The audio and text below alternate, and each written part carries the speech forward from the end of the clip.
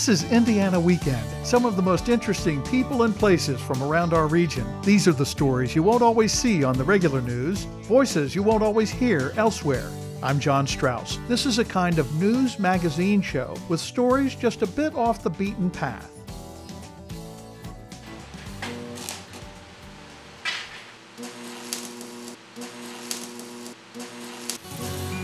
Today, a look at Brown County, the way you may not have seen it before. We're in Nashville, where there are all kinds of interesting shops and stores featuring interesting art and crafts work. We wondered where some of the best of that artwork comes from, and we found it right around town in the hills of Brown County. Starting off, you know, I had just the regular, regular things, trying to think of lamps and things people needed and um, functional things. And I probably only had about four designs or five designs spiders, a whole pumpkins, and some things like that. Brown County has a long history as a home for artists even before the days of T.C. Steele more than a century ago.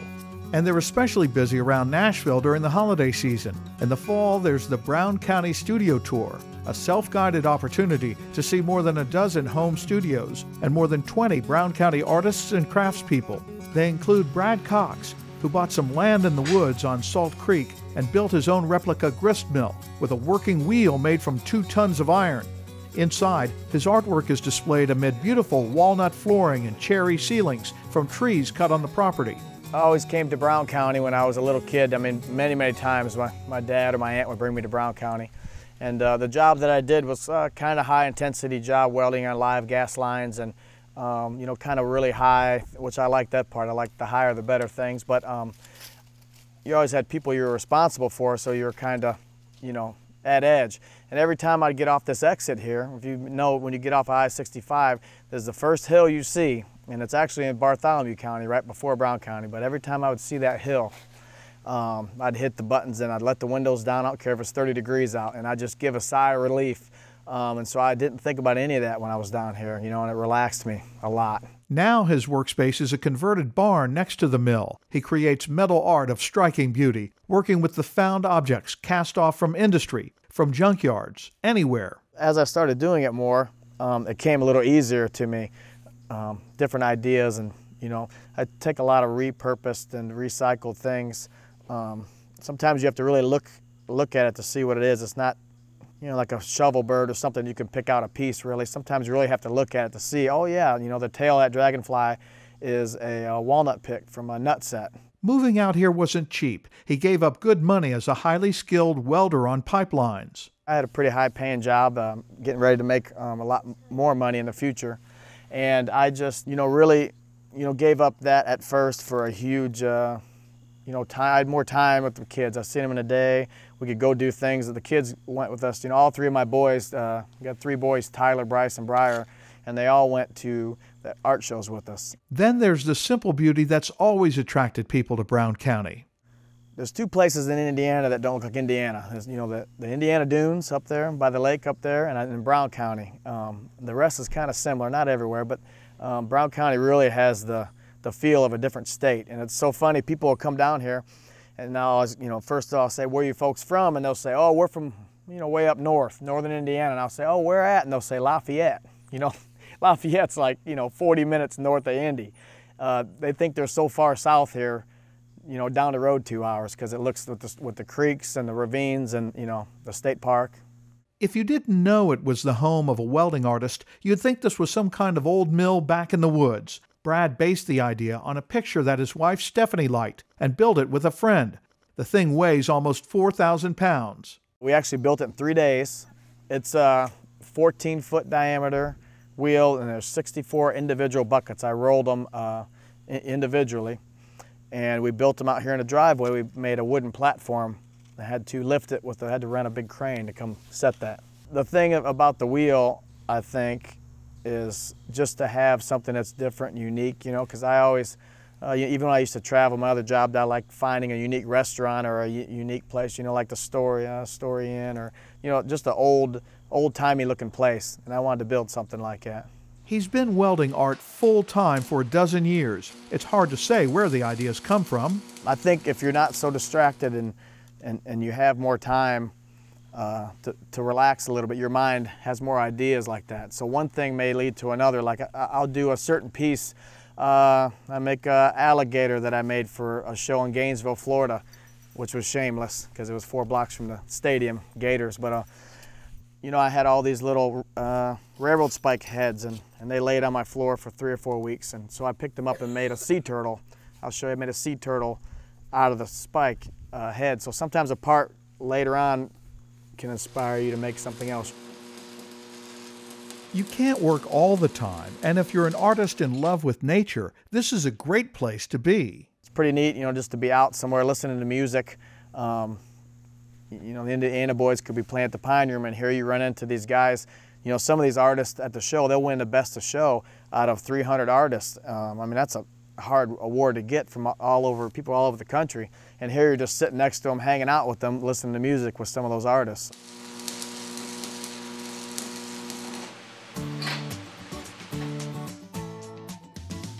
Can a location help the creative process? You might think so in Brown County, which even without the colorful leaves is one of Indiana's most beautiful places. There's a long list of artists and artisans who found inspiration here, Michelle Heather Pollock helps organize the Back Roads of Brown County studio tour. What is it about this place? Most people will tell you the landscape, of course. It's just beautiful here. It's beautiful year round. People like to come in October because the leaves become spectacular, but I think it's just as beautiful in April when the dogwoods and the redbuds are blooming. And then in the winter when you get when we do get snow on the trees, um, there's so many places to go out and hike and walk in the state park and Yellowwood Forest, and um, people paint outside. And I think that the environment is a big thing, the inspiration. But the other part of it is the community. There's a big arts community here. Um, Nashville is one of five communities in the state that has gotten an arts and cultural district designation, and that's largely because of the large number of artists we have and all of the work that we've done together to create galleries and things like the studio tour. And it's a very supportive place to live if you're an artist, if you're a working artist.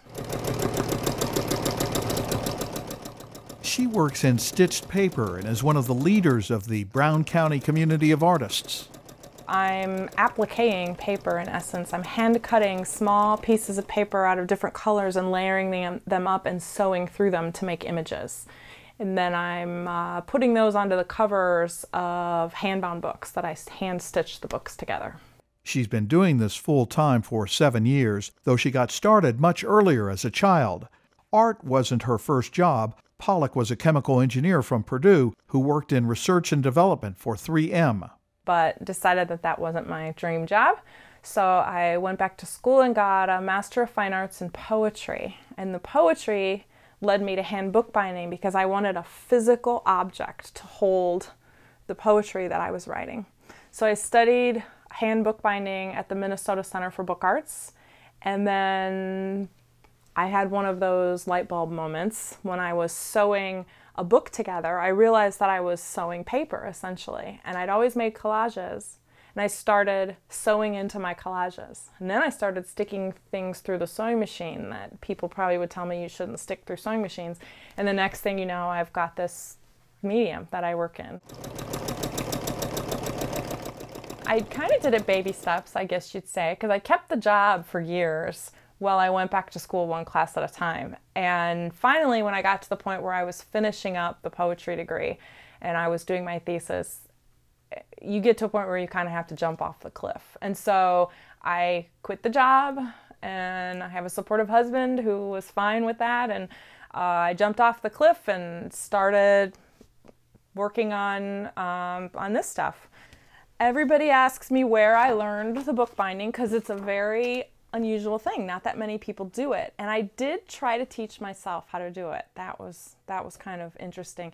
I, I thought, well, as an engineer, I can read books about this and I could teach myself how to do this. Now, this was pre YouTube.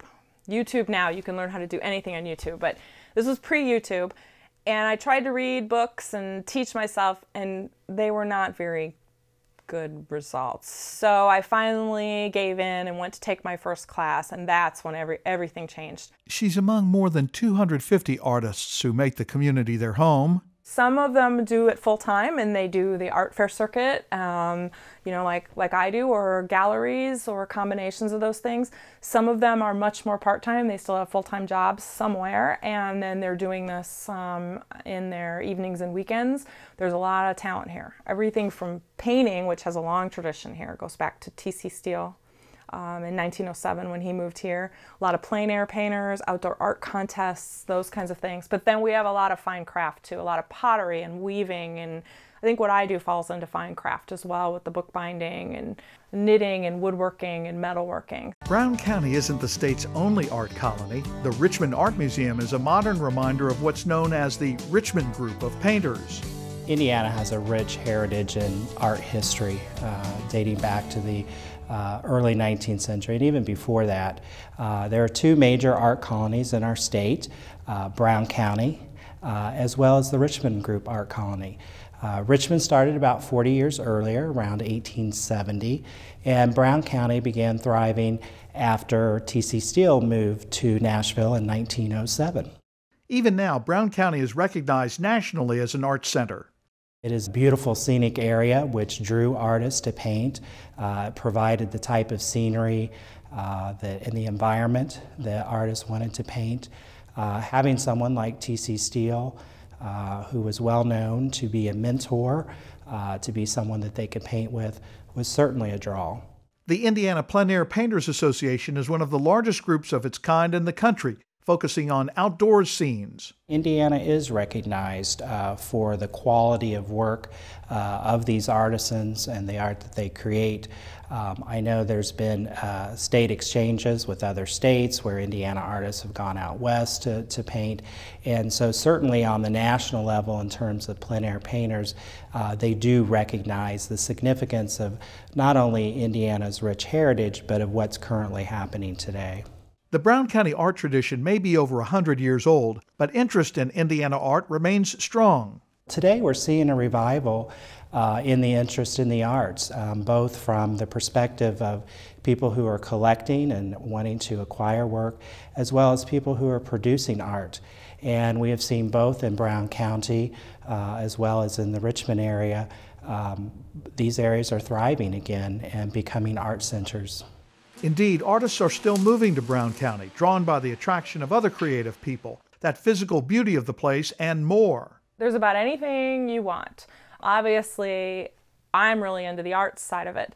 Uh, but like I said, there's a state park and the state forest, which is just has lots of opportunities if you like to hike or walk. Um, there's biking. There are there's kayaking on Salt Creek now. There's golf. There's uh, Explore Brown County, which has the which ironically is owned by one of the artists in the county. Um, it has ziplining and paintball, and so there now is about anything you could want to do in, in a, a beautiful environment. But for many folks, this is country living, and that comes with a few challenges. Okay, you want to know what the number one question I get is how do you drive in and out of here in the winter? That's actually the number one question I get because we live on a gravel road.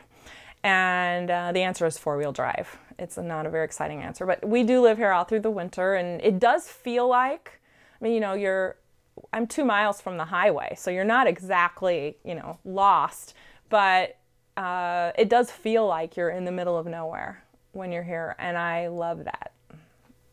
I love living here. Nashville has the feel of an artist's colony. Around every corner, it seems, there's another gallery featuring the work of local folks, not to mention local stores and restaurants of every kind. I love going to Nashville. There's a large number of galleries and places where you can get homemade fudge and ice cream and and now we have a brewery and we have several wineries and there's a lot of uh, really fun unique local things that you can find. She's a mixed media artist still using her MFA in creative writing and the sensibilities of a poet in creating her pieces. I found that moving here, my artwork changed. I do more nature than I used to do, um, and my writing changed. What's interesting now that I'm doing the studio full time is most of the writing I do is actually in conjunction with my artwork. So I do have artwork pieces that have my text in them, that have my parts of my poems in them in the pieces. Um, and I find I do that more than I do standalone poetry for publication. So it's a different form of publication. Like there's a piece behind you there that actually has one of my poems stitched right into it. We asked her if she could read the poem. We can wish away the best part of everything if we're not careful. The other side of the story is that wishing itself might be all there is. Meanwhile, stars are born and die, and I'm too busy to notice their glorious demonstrations. In the basement, on clear summer nights, a Ouija board between our bare knees spelled out the names of constellations we had not yet had the patience to learn. Behind every artist is a story of how they got started. Remember those kits you could get to make pot holders out of loops of fabric? Chris Gustin enjoyed those as a five year old. Now she sells her own, along with a startling array of colorful woven products, including clothes, rugs, and other household items. I am a weaver and fiber artist. I enjoy what I do, and I've surrounded myself with lots of yarn and color and ideas, um, things that just inspire me to create. I experiment with blankets and throws, scarves, shawls, and recycled material for the rugs. She's passionate about recycling, finding raw materials and inspiration almost anywhere. Sock factories create a byproduct that um, they use when they're sewing the sock shut, which they cut off and it becomes waste. Um, normally would go to the landfill. The company that we get it from is very uh, proactive and zero carbon. Um, they really feel like there's things that can be done. When I was trying to find material to weave with that was um, affordable. I went to a Goodwill store where we were living and asked the backroom manager if they had ties that they didn't know what to do with and if I could buy them. And he said, sure, that he would save them for me and to come back in a month. And I went back in a month, or he called and I went back and he said, I've got 300 for you. And it was 300 pounds or 3,000 neckties. Um, one of the other uh, projects that I started was uh, weaving with plastic bags.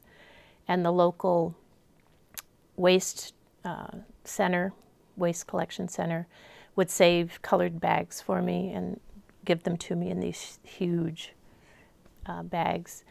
And I learned, I taught myself a way to process them so that they could be made into rugs. Artists like Chris have a mission to keep their craft alive. There's a saying they have each one, teach one. I'm forever offering to people to come here and learn how to weave. We call it day weaving. Come and weave a rug.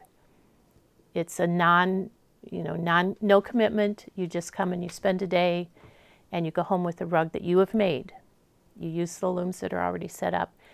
It's a way to not really make another weaver, but to increase appreciation of weaving. She has more than 20 looms around her studio for teaching classes. Weaving goes back thousands of years, and machines like this have been used for centuries. You can get the basics in just a few minutes. Not surprisingly, the artists like to teach each other too. There are artists of all ilk here. They like to learn from each other. The groups that, like the Studio Tour group and the Art Alliance of Brown County, they do a lot of trade off um, education wise. There'll be workshops where an artist will give a talk or give a demonstration so that the other artists can understand without having to, you know, really go into another uh, form of art, but can understand what that particular artist is doing and and where the motivation comes from for that.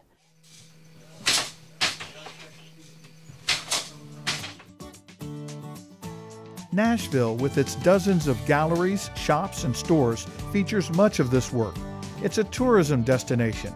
People come here not only for the art, but to wander a small, walkable, colorful town. Any town has its characters.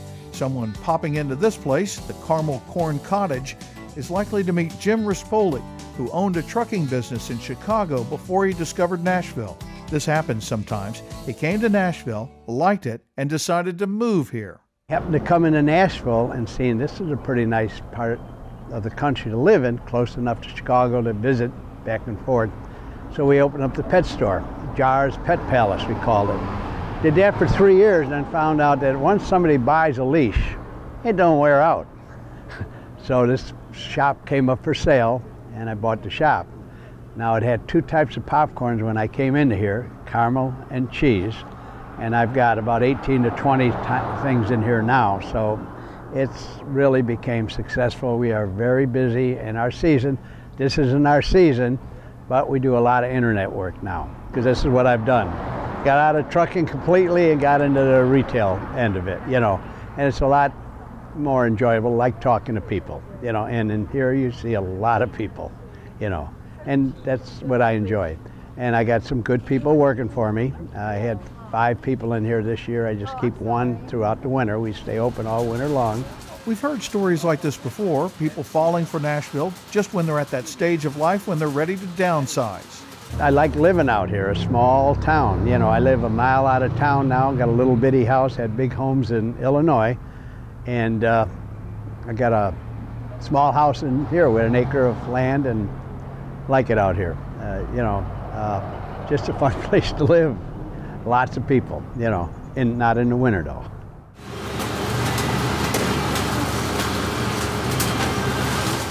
Much of the Brown County artwork comes to places like Spears Gallery in the middle of Nashville. Jan Spears runs the gallery, which even on a weekday seems busy with a steady stream of customers. It's a lot of fun. A lot of local artist representation in here, so honestly, I'm never quite sure exactly what is going to be in here. We have mm, about 20 different artists working here, and at least probably 90% of the work is all made locally uh, by Brown County hands. It's a family business. Her husband Larry creates this remarkable pottery. Photography and other artwork are contributed by their sons. Many of their friends create art too. There's definitely a community of artists here, and they work well together, uh, resourcing different materials, sharing different methods, um, and putting on different shows, you know, collectively. So, yeah, so it's, it's a nice community to, to, to fit into. They feel at home in Brown County, which takes pride in its artistic heritage. I think it's a combination of things, but I think it's definitely um, a welcoming community and historically was an arts community, so it's very welcoming to artists um, and supportive. So I think that's, that's a really big part of it. And just the natural beauty is very inspiring. She's very familiar with the people we met on the Brown County Artist Tour. Michelle Pollock is represented here with her um, handmade greeting cards. She does these beautiful cards that are all hand stitched, uh, wonderful designs, and quite frankly, many of those that leave our shop are going to be framed in someone's home. Typically, they prefer to do that instead of use them for greeting cards because they're so lovely. So we have Michelle's work. We also have Brad Cox, a Brown County artist, and he is a metalsmith that has an awful lot of fun doing what he does. And he makes some real one of a kind, unique pieces uh, with, and does a lot of welding and has a unique place in Brown County as well with a mill. Um, additionally, Chris Guston's work is here. She's a weaver um, in the southern part of the county, out in our neck of the woods where our studio is. She's been out there for, oh gosh, probably 16, 17 years, I think and she does some really nice work. It's not surprising that the variety of work here brings Brown County some international attention, especially since Bloomington is so close. Probably within the last month, the gentleman that I remember from the farthest away was from Zimbabwe that came to Nashville. Um, had friends, I believe, in Bloomington, and he was visiting, but anyway, took a few uh, smaller pieces back to Zimbabwe with him. So it, he was just, uh, the language was a little bit of a barrier, but he was enchanted with the area and certainly with the handmade work. She has some simple advice for first time visitors. You just should get lost. Get lost in town, and you'll find some wonderful treasures hidden all over this little town. Yeah, it's a, it's a fun place, eclectic and fun. Eclectic is a pretty good way to put it. Along with all the other shops and galleries, the artists themselves have a store, a co op where you can find strictly local work. There's a variety here that's actually about more than just the art, more even than the incredibly popular Brown County State Park just outside Nashville, more than a few restaurants for the gastronomically curious, the husband daycare for spouses who need something to do besides shopping. In the end, Brown County and Nashville may be as much ideas as places. People come here to shop, sightsee, create, and most of all, maybe to just get away from the usual places where the rest of us live, the places that aren't at all Brown County. That's our show for today. Thanks for being part of it with us. Hope you'll join us next time as we find more stories off the beaten path from across the state on Indiana Weekend.